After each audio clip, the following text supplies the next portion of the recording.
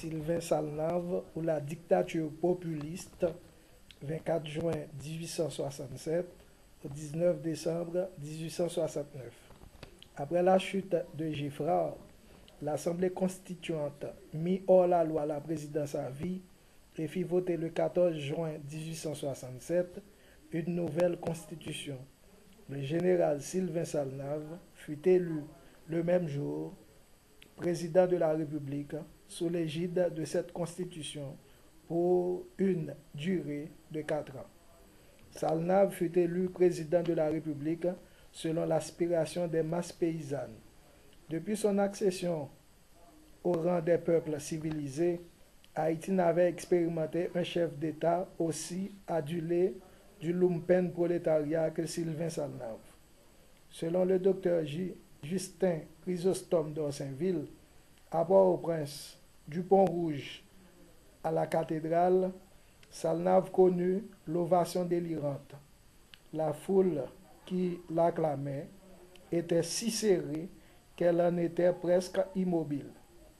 On ne voyait que des têtes et par-dessus ces têtes, des mains agitant des mouchoirs et des branches de laurier. y par la bourgeoisie traditionnelle en tant que vivante incarnation des masses, Salnave fut, Salnave dut faire face à une crise économique aiguë provoquée par la guerre civile permanente qui caractérisa son, son gouvernement. Le déficit de la balance commerciale sur les exportations de café et de cacao aux États-Unis en 1868 représentait une valeur de 760 000 goudes alors que les exportations de vivres alimentaires s'élevaient à 3 256 000 gouttes.